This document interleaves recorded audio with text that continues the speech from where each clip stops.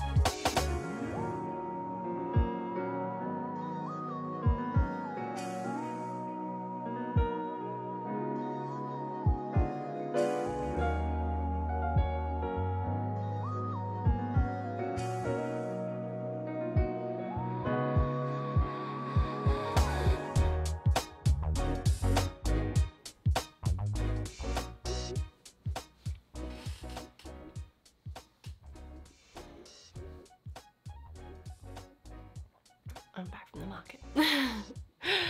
so um, I wasn't able to record anything straight after the market as we had to go out to dinner and do some stuff with family. So now it's the next day, so I have a different outfit. so the market was so cute. It was at Tramsheds um, on the upper floor the market was super well organized. All the artists had name tags on and also their assistants, usually their partner or a good friend or I think some of them maybe might have also just been volunteer helpers. I'm not quite sure on that, but um, they would also have name tag badges on, usually saying either artist or assistant and then the name underneath.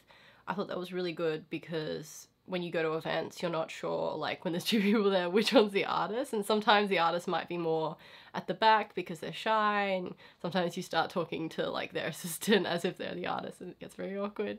So it was just really nice to see like they'd thought about these things and made the effort to make the name tags. Like they weren't even just writing on a piece of paper, they were like fully decked out in the Hue Hue merch. All the setups for the tables were like very cute. They were super amazing. Someone even painted their own uh, tablecloth, which I was seeing on social media on like Instagram in the days leading up, which was really nice to see. I bought an amazing Raichu print, which uh, Paige and I saw straight away, and we both, I think, I think she got it as well. We both got one, and she got a bunch of other prints as well from this artist. Um, I just got the Raichu one because the colours just work so well with my favourite colours. Um, I'll probably stick it up on my wall soon. Um, also got a sticker from her. I wanted so many other things, but I don't have space to put any more prints, so I just bought the Raichu one. Um, I bought a bunch of sticker sheets from a place called, uh, it'll be on the screen. I can't remember. I think it was like Yon Yongi Studio or something like that. Um, super cute. I kept seeing more and more things at her stall that I wanted, so I had to kind of hold back. I bought a bunch of stuff from Little Robin, um, three little uh, Eeveelutions and Eevee postcards, which are just oh, so cute. I'm probably gonna put them in my fridge soon. So I also got this really cute keychain um, with, I don't know what dog it's supposed to be, but I'm gonna assume it's the same breed that my girls are. It's probably not because it's a bit of a niche breed, but I have two Japanese Spitz and my um, every time I see someone who has like a fluffy white dog thing at their stall, I usually like have to buy it. it's just uh, it's so rare to see stuff. So um, I bought this keychain and then I showed it to both the girls, and I think Yume gave it a bit of a nuzzle, and Sui did try to eat it straight away. So, uh, but yes, I have already put it on my um, keychain, so I love it so much. Please head over to Instagram, which I think most of these artists definitely are on. They might be on other socials as well, but please follow them. I'll put all their details on the screen. This will be their Instagram accounts, unless stated otherwise.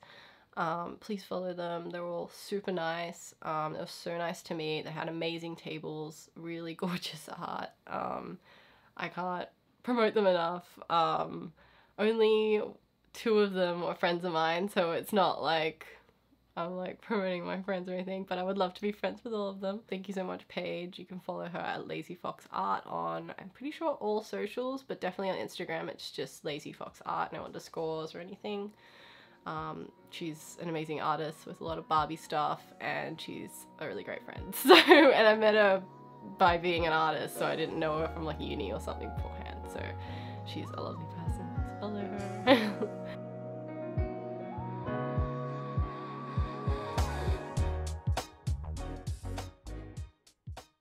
So for the shop launch, I'm aiming for Easter Monday for the um, the launch date. Um, probably around like midday, just so I can like finish any things in the morning um, that I probably haven't finished because knowing me, there'll be some last minute things to do. Um, and then I have like I picked this time because like there's two weeks that I don't have any market events. Like I've been booking all these market events like in this first part of the year and I finally have like two weeks of like just nothing. I have quite a few things still to do. I haven't really started many of the listings. I've put one up because I had to put one up to like open the shop or something. So I've unlisted that already. But um, other than that one listing, which I think I still have to add like some tags and stuff too. Um, I haven't added any of the other ones, so I have to do all the listings. I still have a bunch of product photos to take for stuff that um, I either wasn't happy with the product photos with before, or I've never taken product photos of because they're new items. I have this huge spreadsheet that I've made of like all the info that Etsy kind of like asks for.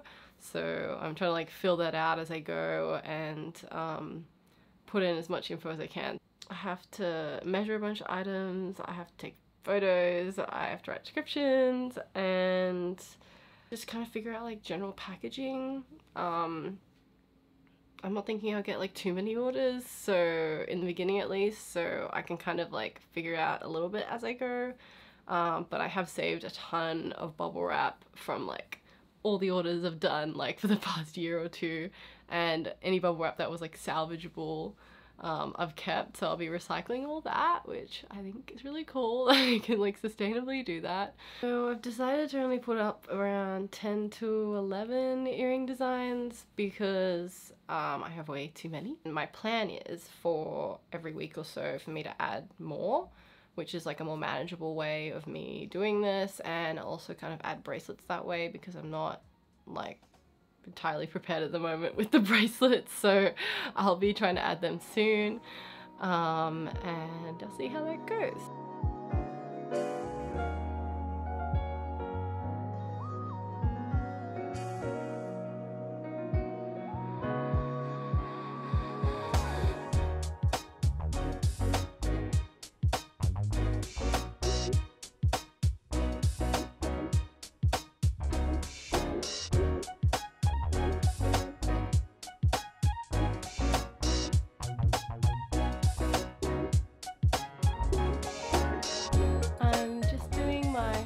Checks now for the listings. Um, hopefully I've spotted any mistakes and I've put up like as much info as I could.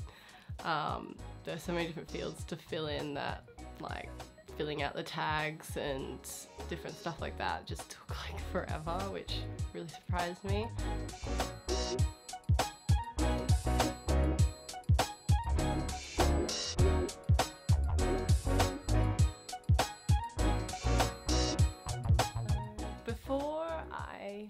the outro, um, I just wanted to put this little section in that I'm gonna try and have in like each video, and it's gonna be called my current obsession.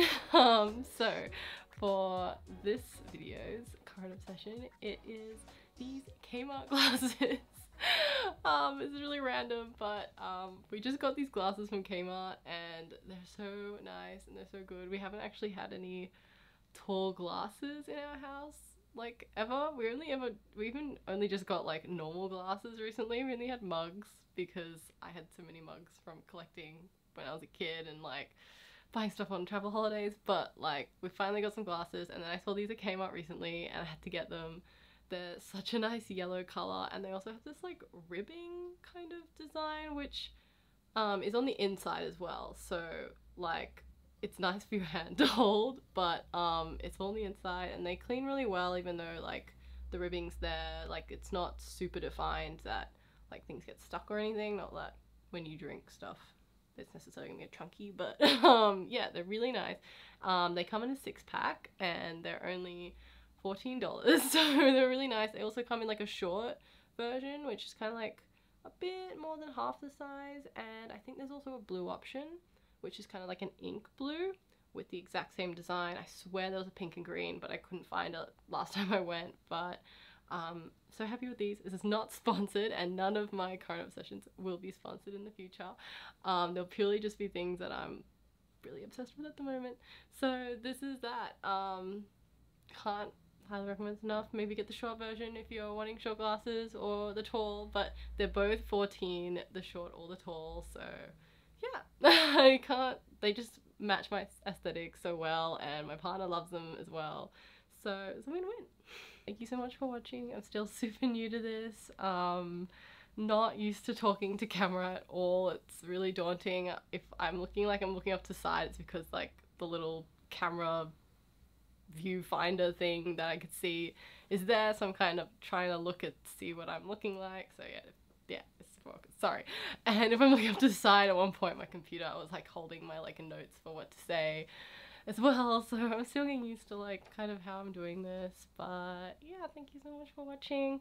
Um, I wanted to thank my partner Liam for helping me with being my camera guy and letting me use all his equipment. There's like lights everywhere in this room because a lot of the time I film after work because I work 9 to 5 so a lot of these vlogs I'm getting recording at night so there's no natural daytime. So it's really useful to have all these lights around the place to use and he's made it look really nice and homey and not like super awkward. So yeah thank you so much to my partner and I'd also like to thank um, Chantelle Que Art and Lil Robin.